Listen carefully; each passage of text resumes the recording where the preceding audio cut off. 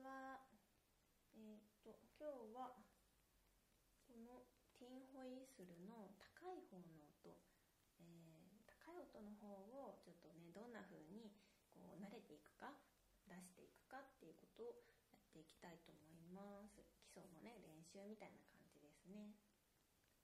一番最初全ての穴を塞いで D です。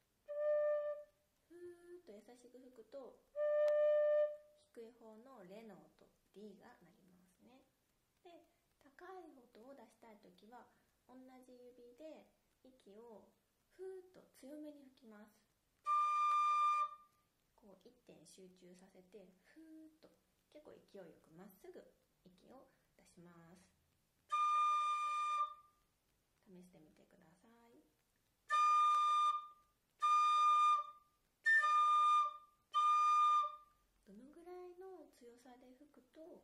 ちょうどよくいい高い音が鳴るのか、えー、息の量とかスピードを調節します。これだと息がちょっと足りないんですね。もう少し息の量も増やすとこんな感じになります。じゃあ次はミの音 E の音ですね。まず低い方の「ほー」っていう低い方の音出してみましょう。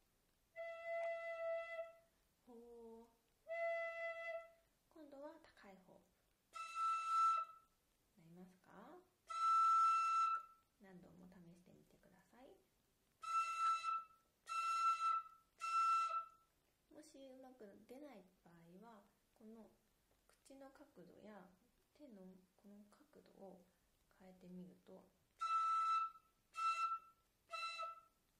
ちょっと息が入る場所が変わるのでうまく音が鳴ったりします。楽器によってもそれから口の形とかにもよるので自分の音が鳴るな高い音出しやすいなっていう角度をね探してみてくださいね。では次 F シャー。プパ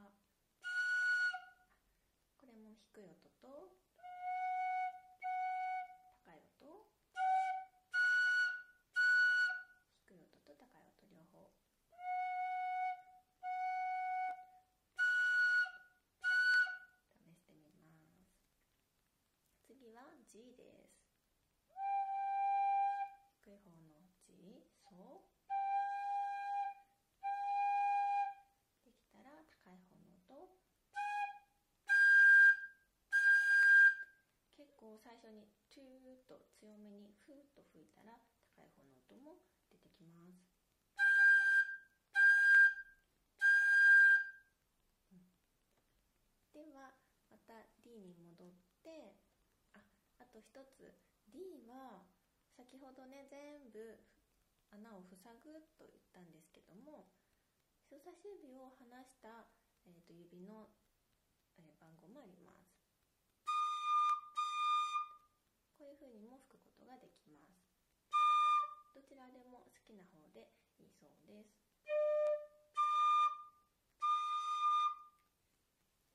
はい。ではちょっとこんな感じで遊んでみたいと思います。見ててください。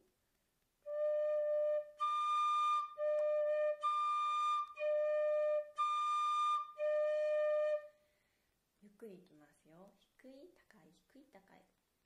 ふー。なんとなく心の中では「ほう」「ふう」「ほう」「ほう」っていう息と「す」っていう息でやっています。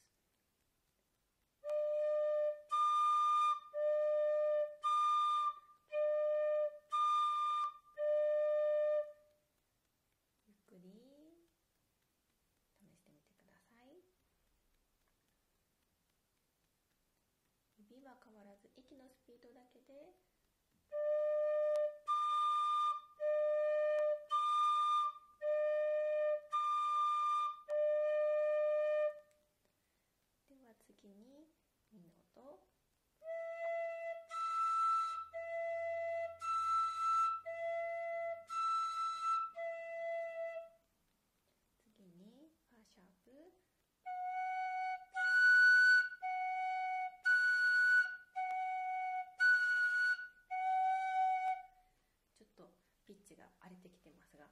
次行きましょう。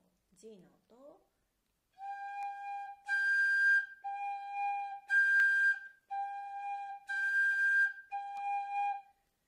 少しずつねなんとなくこう吹きにくくなってきてるんですけども皆さんどうですか？低い時の息の吹き方と高い時の息の吹き方試されたかなと思います。